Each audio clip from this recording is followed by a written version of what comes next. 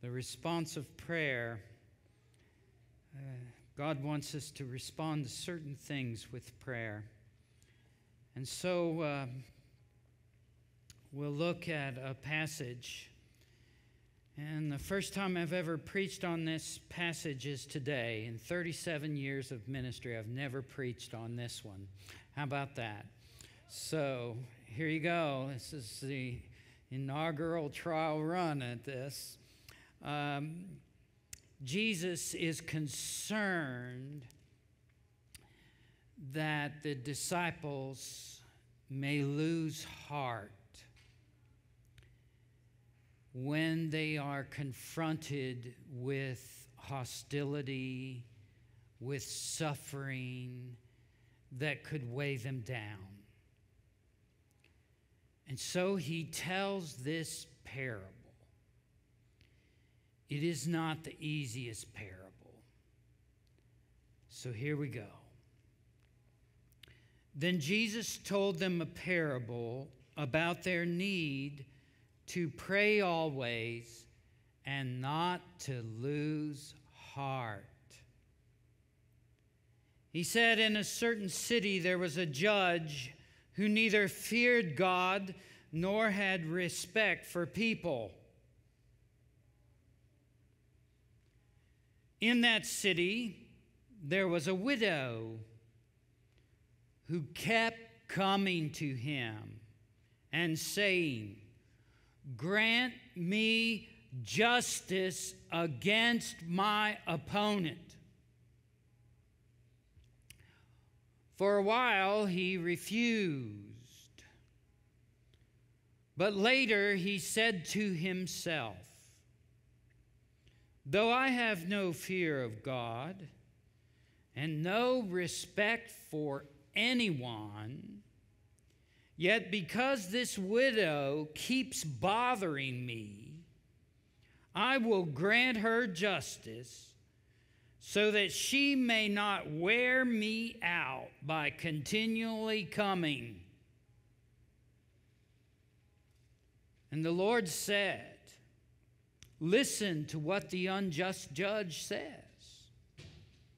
And will not God grant justice to his chosen ones who cry to him day and night? Will he delay long in helping them? I tell you, he will quickly grant justice to them. And yet, when the Son of Man comes, will he find faith on earth?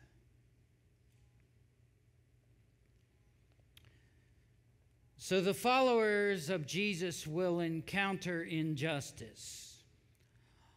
All people encounter injustice. Would you agree?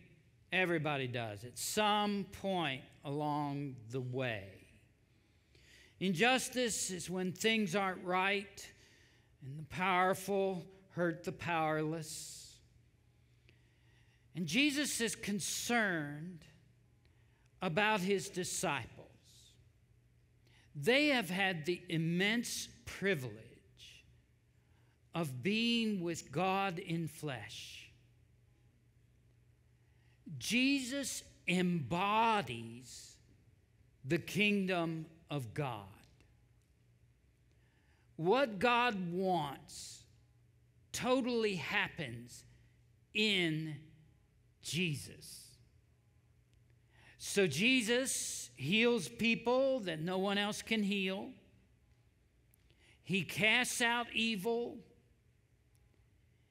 He speaks the truth even when it's complicated and people don't understand and they vie for various places in the status of things, Jesus speaks the truth. He educates people about who God really is and what God really cares about. And so just being around Jesus is so fulfilling His love brings such joy that they, the disciples, think the world's just going to get all better. It's all better. It's all good. And soon, everything will be right. They expect, Jesus says he'll come back, they'll expect all things to be made right. And we know that we've been waiting a couple of thousand years for all things to be right. And they're not. It's not all right, is it? There's a lot wrong in the world. There's a lot of suffering. So the disciples will be tempted to lose heart. Now, when it says lose heart, what, what it means here is that they'll be tempted to be discouraged and say things like, What's the use? It's not going to make any difference anyway. The bad will keep on being bad. Wrong things will keep on happening. What's the use? We've all been there before, haven't we? Where we wonder what's the use? We're tempted as well to lose heart. Suffering can weigh us down. Now, sometimes we get the false notion that because we follow Jesus, because we worship God, that somehow our quota of suffering will be reached and then we won't suffer anymore. Well, that's not true, is it? Now, I grew up in a home that was full of alcoholism. And because of that, there were lots of, what shall I say, disappointments. There were things that went wrong. There were things that were said that shouldn't have been said, things done that shouldn't have been done. And so I became a Christian and followed Jesus. And my mother became a Christian.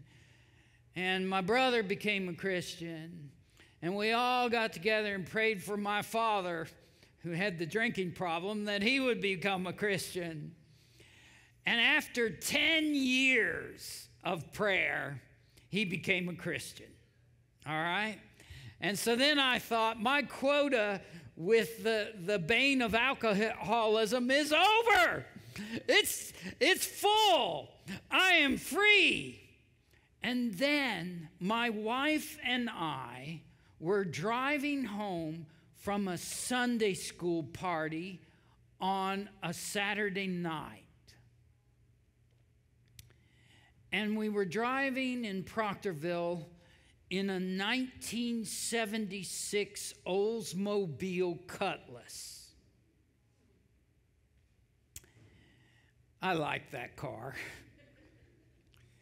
It was a two door and it had a big engine in it. Big. Lot of hood room out in front of me. And I'm driving along, and there are a number of cars coming our direction. And I'm going to be turning left into our subdivision. And so I'm slowing down to around 30 miles an hour. And out of the line of cars, the last car in the line squeals out of the line and accelerates into my lane and hits us head on. The impact was so hard that the left front wheel of the Oldsmobile Cutlass ended up even with the steering wheel, crushed the car. My wife, uh, it was just the two of us, our little girl, Rebecca, was home uh, she went into the windshield, had all kinds of jagged glass in her face. um, the floorboard of the car um, was lifted up and just got my left leg. And uh, off to the hospital we went, did all kinds of x rays, sent us home that night. I couldn't walk. And the next morning, though, I was determined to preach. And I put my leg over the side of the bed. And when the blood rushed to it, I thought my leg was going to blow off. And so I got back into bed, and it was the only Sunday I ever missed in 37 years of preaching. Was after that car accident. We were hit head on by a drunk driver. A drunk driver. Now we're fortunate, we were fortunate to be alive, really. If we'd been driving a smaller car, look out. But that car was like a tank, and it uh, helped save us. Mary Lynn would later on have an operation on her neck, and they would have to put bone in between two bones because her disc would, would obliterate. And she has had all kinds of problems since then from that. So our lives were changed in a moment. And, and so I say all this to say do not think just because you're serving God or you're trying to do what's right or you're worshiping and all that, that you will be exempt from suffering. It just doesn't happen. I'm sorry. I wish it were different. But that's the way it is. Things happen to people. And it's and if we're not careful, we'll get the idea that because things happen and because God has let them happen, then sometimes we can think, Does God really have any power at all? Just letting all this evil stuff happen in the world. How we view God matters with how we pray and how we stay faithful. So Jesus tells this parable to get at this difficulty of how we see God, will we respond to the injustice in the world with prayer? Will we not lose heart? So here's the parable, and it begins with there is a widow, and she is not powerless which shocks us. Because in that day and time, widows were often considered to be powerless people. Um, women could not inherit land, only the guys could. That's not fair, is it? Is that an injustice? It certainly is. So if you died and you didn't have any sons, or your husband died and you didn't have any sons, and you're left at a widow, you, your property was up for grabs. So we don't know the exact situation, but this widow acts contrary to what every, everybody expects.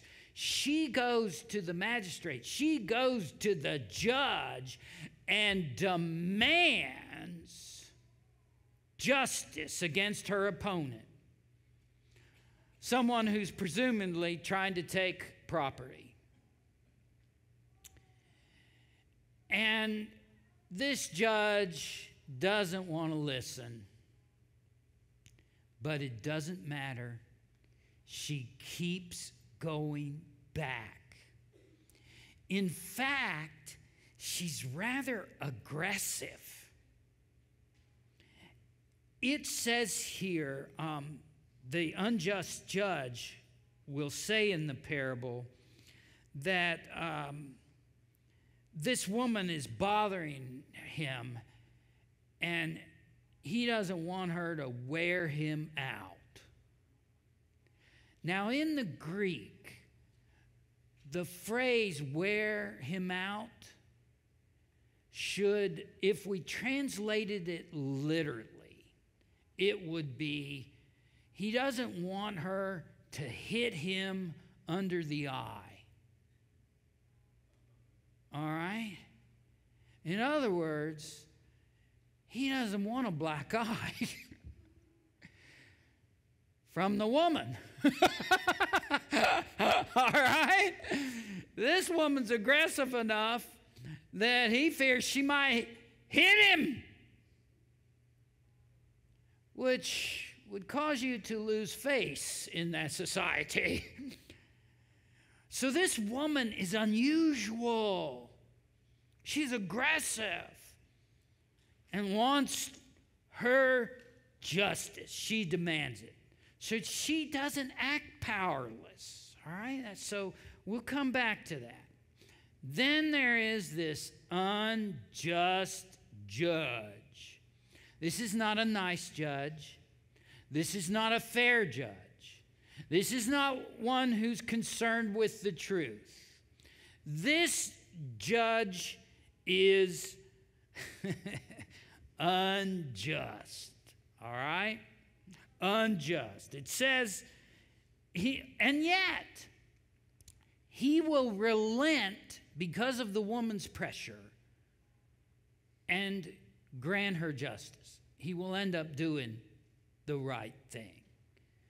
But this unjust judge, it says of him, he doesn't fear God and all through the scriptures, it says we're to fear God. And by fear, you know, it means to have respect, to value, to be in awe of God. Okay?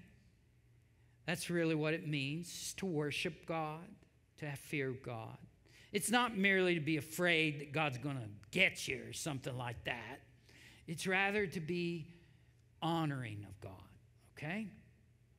So, this guy doesn't fear God, he doesn't care anything about God. Plus, it says he doesn't respect people. So he doesn't respect God and he doesn't respect people. This is not a very nice guy. Now you remember somebody came to Jesus once and asked, What is, what are, what is the greatest commandment? And you remember what he said? Love the Lord your God with what? all your heart, mind, soul, and strength. Okay, so love God with everything you are. That's the greatest commandment. And then he said, a second is like it. And what did he say? Love your neighbor as yourself. All right.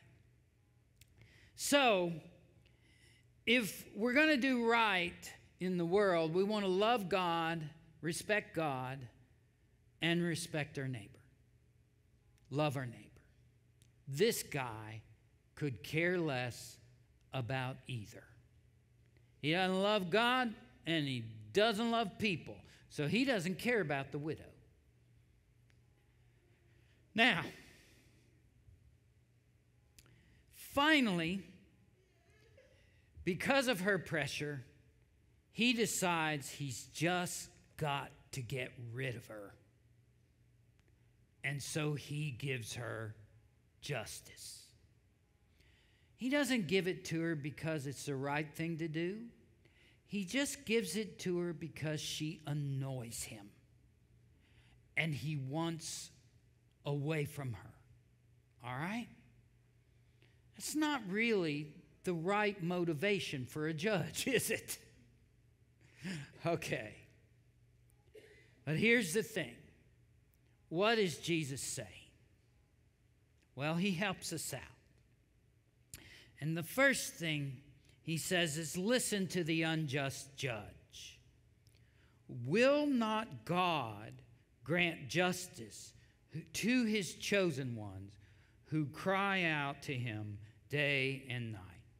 So here's the point God is not an unjust judge. God wants justice justice all of us do. God wants wars to cease. God wants the powerful to treat the powerless with love and respect and to share power and lift them up.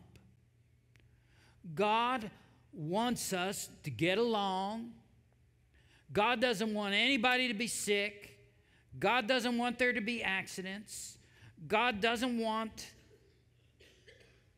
people to do wrong things. All right? God is not like the unjust judge. But sometimes we think things are so bad in the world that we just got to keep asking God, keep after God, beg God, and finally God will relent and get involved. Finally, God will do something. It may be too late, but that's how we think sometimes. And there's nothing further from the truth.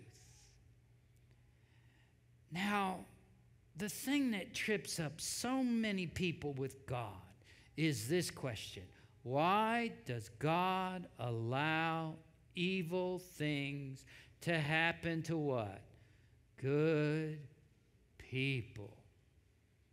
Why is there suffering in the world? Why is there evil in the world? Why does God allow that? It's a big question, isn't it? It's a big question because we know life's not fair. And if we're not careful, we can get so immersed in all of that that we lose heart. We lose heart. But here's the deal I think it's the price of love. In order for God to make everything just right, God would have to go around us. And God loves us. And the price of love is what? Involvement with us. So, yes, God cares about justice in the world, and God wants us to help bring the justice, to get involved with God. So it happens. And that's a difficulty because we are mighty slow. We're slower than God. so when it asks the question here, will not God grant justice to his chosen ones who cry to him day and night? Will he delay long in helping them? I tell you, he will quickly grant justice to them. What that's saying is God's character is such that when we cry out for justice, God acts quickly. But we don't. We're slow. And it's the price of love. So, here's the point. Whenever we feel powerless in this evil age, remember the widow. We are not as powerless as we think